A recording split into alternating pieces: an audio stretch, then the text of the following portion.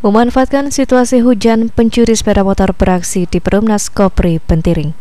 Korban yang menjadi sasaran pelaku ini adalah Siti Martia. Pengakuan orang tua korban, Herlina, sepeda motor tersebut memang selalu diparkirkan di teras samping dengan stang terkunci. Selama ini diakui Herlina, lingkungan ini dikenal aman.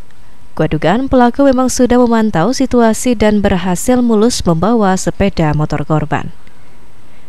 Ditambahkan Herlina, saat terjadi pencurian itu, pagar rumah memang tidak dikunci. Dirinya juga sempat mendengar suara berisik, namun mengira suara biasa.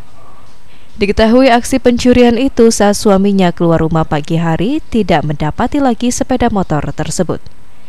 Kasus ini sudah dilaporkan ke Polsek Muara Bangka Hulu dan langsung melakukan penyelidikan.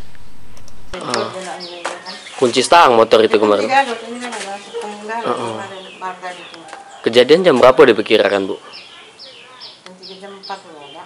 Ada dengar bunyi-bunyi tak bu? Pelaku mengambil tuh bunyi pagar? Tidak ada, mungkin dia pelan uh, Posisi hujan itu ya bu? Ah, iya. Uh, sepeda motor apa? Scoopy bu? Scoopy. Uh. Kamu baru penting itu kan tadi kita dari itu. Emang ada suara orang. Dugaannya itulah ya bu? Nah, kalau waktu itu tak cara ya biasanya aku bangun dulu kan Rendra Aditya Gunawan, RPTV melaporkan.